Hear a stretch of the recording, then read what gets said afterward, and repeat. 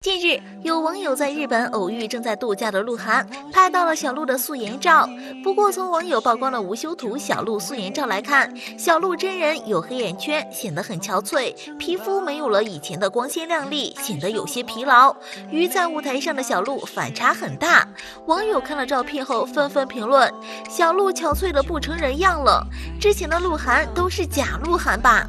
其实，鹿晗素颜的状态是他最放松时候。大家都知道，演员拍戏每天都要带着很厚的妆容，尤其是现在的很多韩系小鲜肉，据说脸上的粉比女生一般的妆容还要多，还要厚。因为长期拍戏，化妆对每个演员的皮肤伤害都很大，所以说我们都应该相互理解。各位看官，你们觉得呢？我在唱给